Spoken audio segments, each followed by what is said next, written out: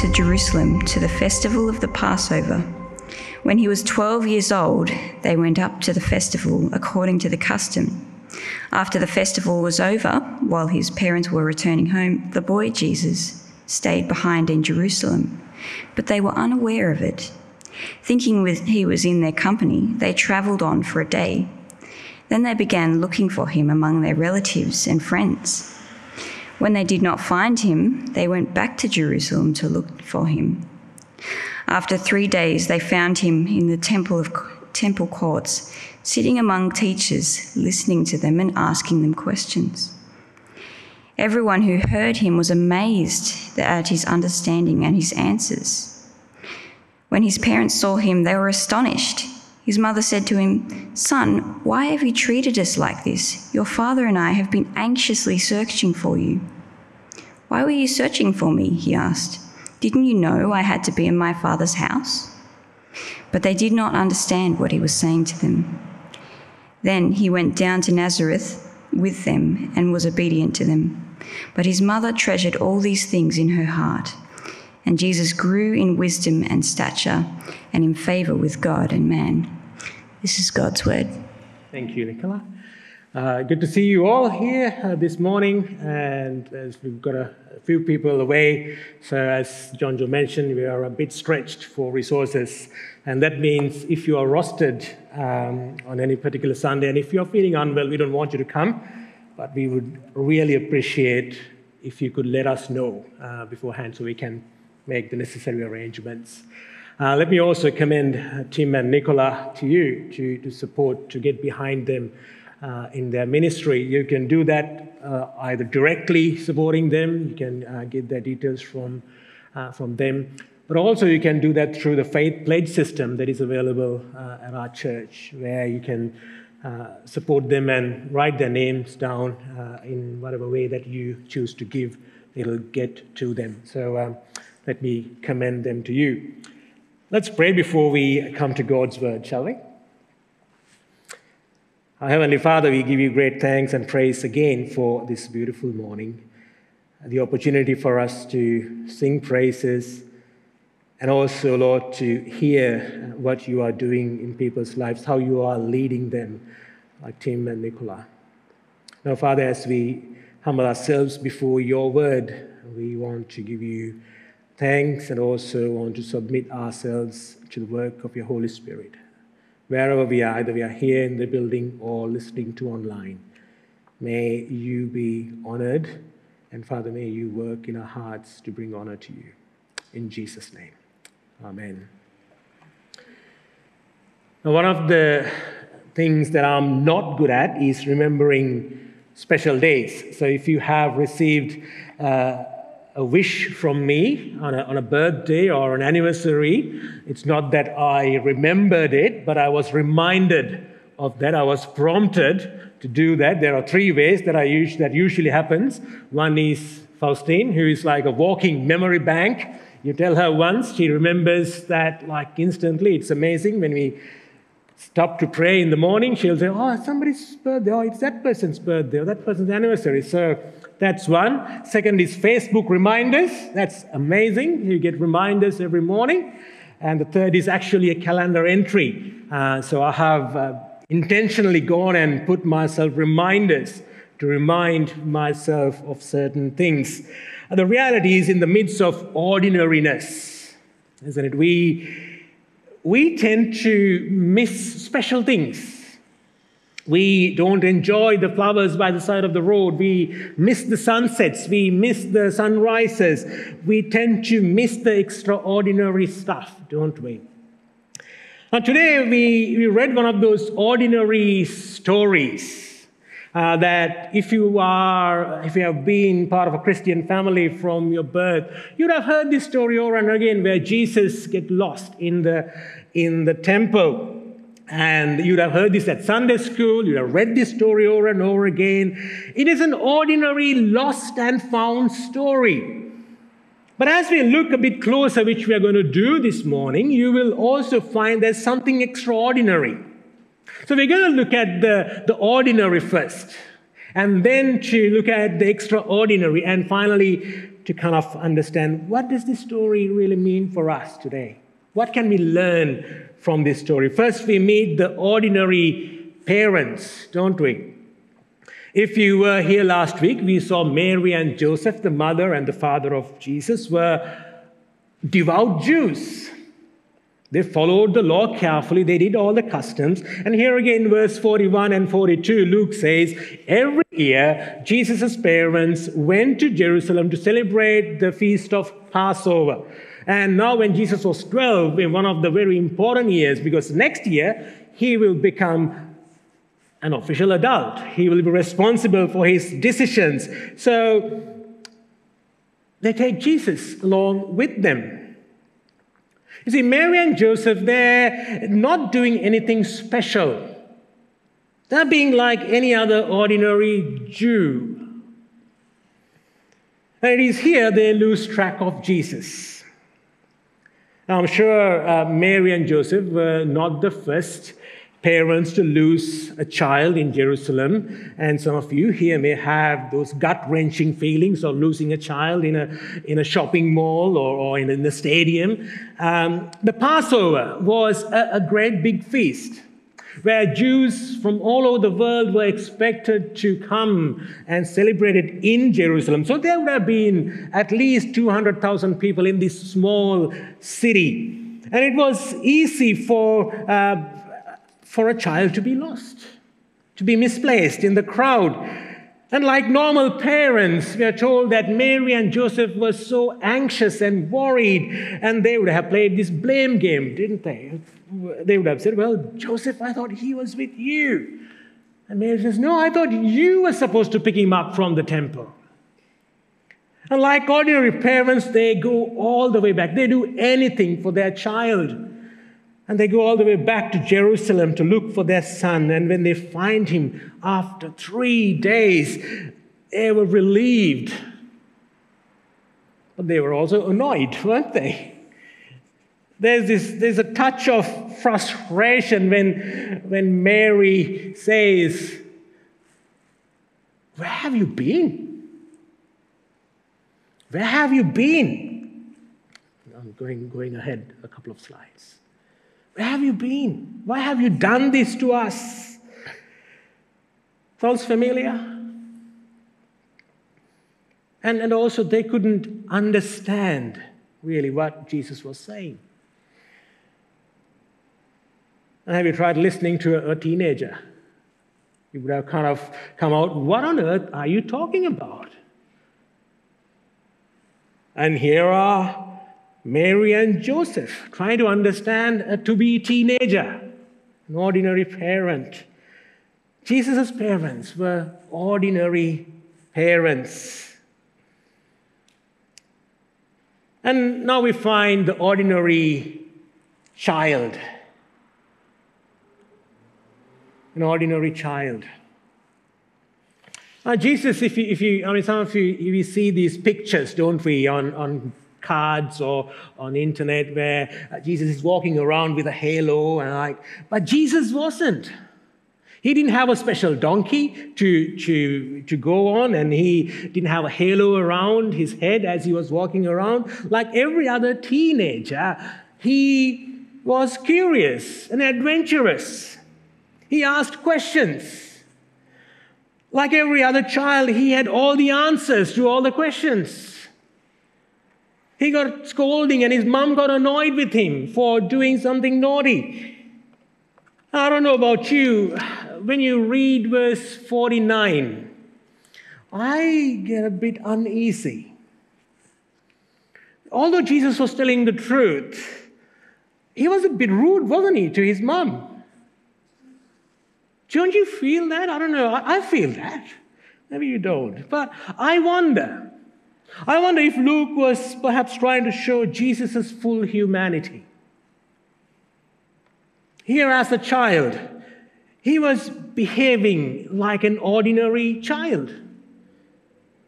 I doubt he sinned. I mean, the Bible says he was sinless, but he was actually childish. But when you look further down, verses 51 to 52, he had to grow up. Like any other 12 year old boy. He had to be obedient to his parents, learn how to live with others, how to eat good food and, and grow muscles, had to learn how to pray, how to learn the Torah, how to obey God, had to learn how to share and live with others. See, Jesus was fully human. He was an ordinary man like you and me, and that's why he can sympathize with us, isn't it? But in the midst of this ordinariness, we also find the extraordinary person, don't we? Verse 47 Everyone who heard Jesus was amazed at his understanding and the answers that he gave. Even his parents were astonished, they were amazed. Is this our child? He was extraordinary. Although, as I said, verse 49 sounds a bit rude, uh, it also confronts us with who Jesus really is, isn't it? He's not just an ordinary child. He is the Son of God. On the King James Version, uh, as I should be about my father's business. Now, in the original Greek, the word business or house is not found. It just says, in the of my house. And so the New Testament translators had to find a word to put. So some use business, some said house. Regardless of which words that you want to use, Jesus reveals that he is the Son of God who has come to carry out the mission of his Father. God, he has come to do his business. And if you remember the, the first couple of chapters, first few, uh, first chapter and, and up to chapter, two, chapter 2, uh, all this time other people have been talking about Jesus, haven't they? Angels from heaven, Zechariah, an old priest, and his wife Elizabeth, Mary, the mother of Jesus, a group of shepherds, and last week we saw Anna and Simeon. Now, Jesus himself speaks for the first time in this gospel, and he confirms all what we have heard about him so far. Jesus is Emmanuel, God with us. He is the second person of the Trinity. The Word became flesh. God is, Jesus is God's promised Messiah, the one who has come to save sinners. You see, friends, in the middle of the ordinary, Luke doesn't want us to miss the extraordinary, the uniqueness of Jesus. He was fully God, fully man. He was here to do his Father's business, saving sinners and bringing them home extraordinary in the middle of the ordinary. So, what can we learn from this story? What can we learn from this story? I want to share three application points with you this morning. First, don't let the ordinariness of Jesus to cloud your view who Jesus really is. Many people today are impressed by his teachings, his miracles, and, and treat him as, as a guru or, or, a, or a teacher, a miracle worker, a revolutionary, perhaps a, a, a good, really good man. But as we read the, the stories, not just this one, but as we read the Gospels, we find that Luke doesn't allow us, the Gospel writers doesn't allow us to treat him as just another teacher or a guru or a special man. No, he confronts us with Jesus' own words I am the Son of God, the second person of the Trinity, who has come to do the business of my Father. Now, some of you would have read the Chronicles of Narnia, which was written by uh, C.S. Lewis. And he also wrote a book called Mere Christianity. It's a really good book if you want to read. And in this, he wrote this. I'm going to read this one. You can follow it on the screen. I'm trying here to prevent anyone saying the really foolish thing that people often say about him, which is Jesus that I'm ready to accept Jesus as a great moral teacher, but I don't accept his claim to be God. That is one thing we must not say. A man who was merely a man and said the sort of things Jesus said would not be a great moral teacher. He would be either a lunatic on the level with the man who says he's a poached egg, or else he would be the devil of hell. You must make your choice. Either this man was and is the Son of God or else he is a madman or something worse. You can shut him for a fool. You can spit at him and kill him as a demon. Or you can fall at his feet and call him Lord and God. But let us not come with any patronizing nonsense about his being a great human teacher. He has not left that option to us, open to us. He did not intend to. Luke invites us, doesn't he? You and me, especially if you're not a believer, do what Mary did. She could not understand what all this means. But she did not brush them off as childish talk. No, she, she treasured them in her mind. She pondered until she could put all these pieces together. So let me invite you to do the same this morning. Investigate his claims. Consider coming to the Christianity Explored course on the 6th. Maybe perhaps you want to bring someone along with you. Don't let the ordinariness of Jesus to cloud his uniqueness. Secondly, don't let your righteousness or religiousness or religiousness to cloud your view of Jesus. As we noticed last week and this week, Mary and Joseph were loaded with piety, devoutness. They were practicing law abiding Jews. But in verse 50, Luke tells us still they did not understand what Jesus was saying to them. And you kind of wonder, isn't it? Of all the people, Mary should have got it. She had the benefit of the angels, the virgin conception, the shepherds, the, the witness of uh, Simon, Sim- Simeon, and Anna, but she didn't for some reason. Now, it's not wrong to be religious and follow rituals, but we must be careful that we don't allow religiousness or rituals or customs to replace who Jesus is and what he has done. Now, this was the problem is the, with the first century Jews, isn't it? They placed those customs and rituals above Jesus, and they couldn't see Jesus who he, for who he is. And sometimes they added these rituals and, and customs as, as part of becoming a Christian. They said, well, to be a Christian, you must believe in Jesus plus do all this list of things. Not just the Jews, right? If we are not careful, we too can do the same, can't we? We may think our going to church every Sunday, our tithing very carefully, our prayers in the morning and in the evening, our baptism, taking communion every Sunday or once a month. We may think somehow all these will add to what Jesus has already done 2,000 years ago on the cross. No. We must remember that his death on the cross and his resurrection was sufficient for all time to save us and to make us holy and blameless and to present us blameless before God.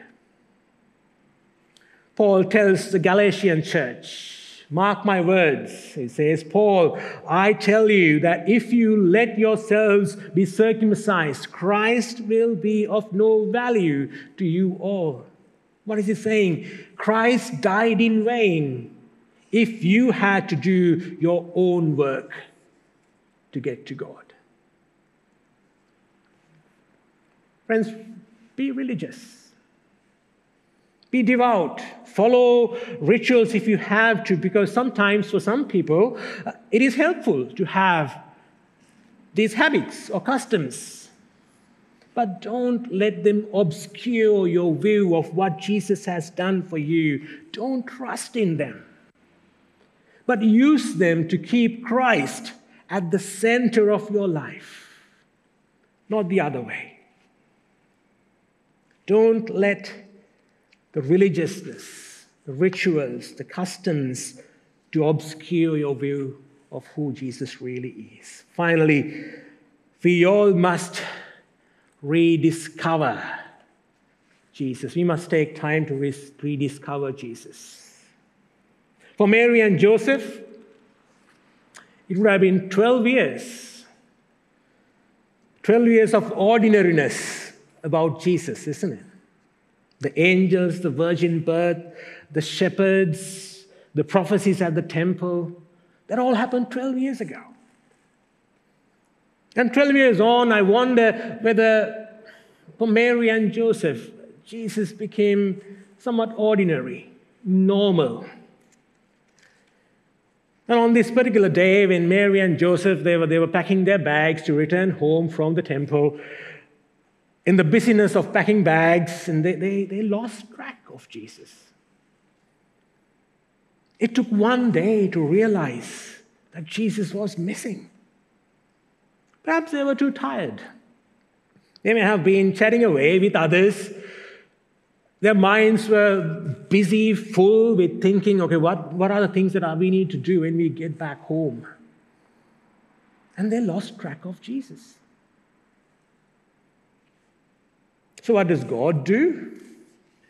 God literally turns them around on the spot. They, they, God calls them back, back to Jerusalem, where Jesus is to be confronted with Jesus, to be amazed by Jesus, the Son of God, the Messiah, to, to remind them, to nudge them that He is extraordinary. Don't lose sight of His extraordinariness. So let me ask you this morning have you lost Jesus? Perhaps you have been a believer for a while, and Jesus has become normal, ordinary to you. And the busyness of life work, children, hobbies, friends, social media, stresses, and tiredness is Jesus non existent? You don't have time to think about him, you don't have the desire to serve him anymore. And with COVID dragging on and on, the case numbers going high every day, isolation, being not able to come to church regularly, has your excitement about Jesus grown cold? Have you become like the church in Ephesus that Jesus speaks to in, in the book of Revelation? But I have this against you that you have abandoned your first love.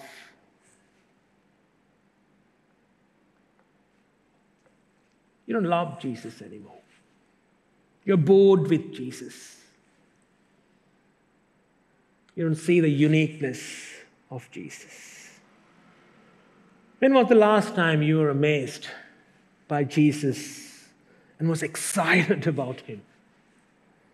How long has it been? A few days? a week ago, a month ago, a year ago, perhaps a few years ago. Maybe the last time you were so excited about Jesus was the time, the first time you became a believer, became a Christian. Perhaps this morning, God may have stopped you in your tracks so he can point you back to Jesus to show how much he loves you, how much he cares for you, inviting you to find rest in Him. Perhaps in the circumstances of your life, God is prompting you, He's nudging you and leading you to a place where you can see Jesus clearly again and fall in love with Him again and to be excited with Him again. Perhaps maybe it's time for you and I to start reading a gospel be amazed by Jesus again. When was the last time you read a gospel through? Friend, in, in, his, in his amazing grace and love, God humbled himself and took on human flesh. He became like one of us, extraordinary, dwelt among the ordinary. Why did he do that? He did that so that we won't miss him. So let me encourage you this morning don't let anything obscure your view of how extraordinary Jesus is. And don't let anything diminish your love, your passion for Jesus. Because it is only by knowing Him, by believing in Him, and we, we find a relationship, a fruitful relationship with, with God, and, and we find our identity, our, our life, our joy, our peace, and most importantly, our hope for eternity. Take time to rediscover Jesus and be amazed and be blown away by who Jesus is. Let's pray.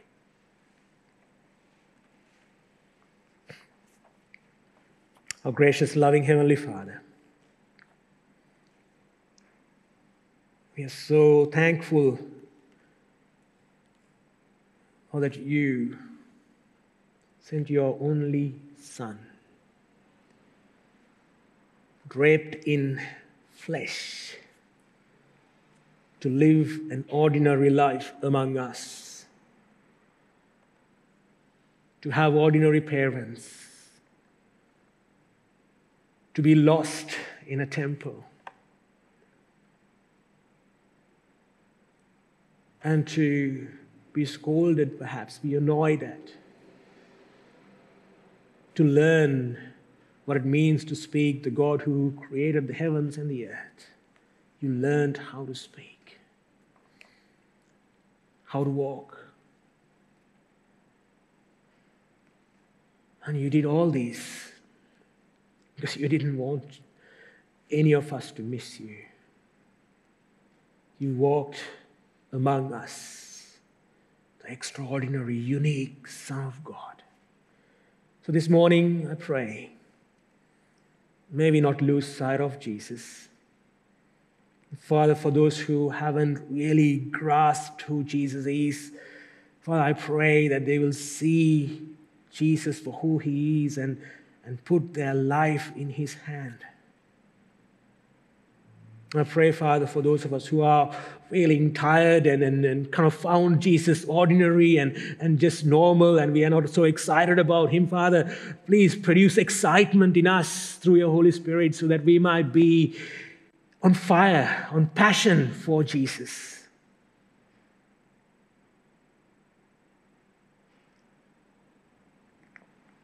So, Father, we thank you for reminders for nudges, for rebukes,